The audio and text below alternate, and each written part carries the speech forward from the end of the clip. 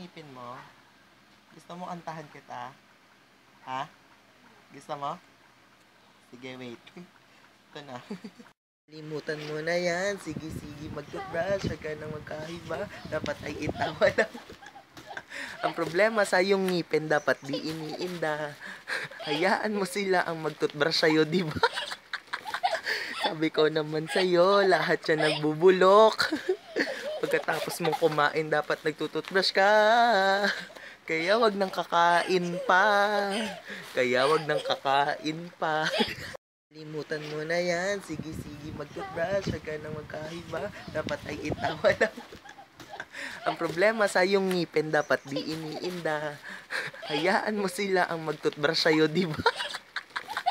Sabi ko naman sa'yo, lahat siya nagbubulok. Pagkatapos mong kumain, dapat nagtututbrush ka. Kaya wag nang kakain pa. Kaya wag nang kakain pa.